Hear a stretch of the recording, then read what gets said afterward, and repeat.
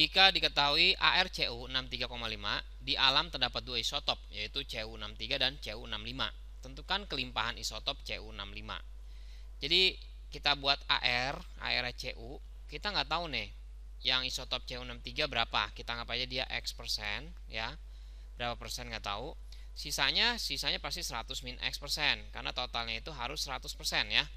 Nah, jadi X persen dikali dengan nomor masanya 63 jadi ini sebenarnya kalau nggak dikasih tahu datanya berarti 63 ini sebagai nomor massa ya.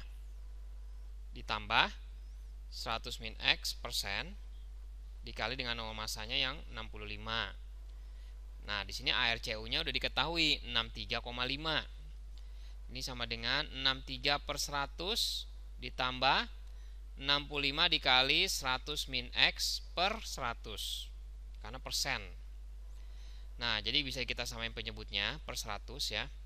Di sini 63,5. 63 ditambah ini dikali jadi 6500 ini dikalihin jadi min 65x itu ya.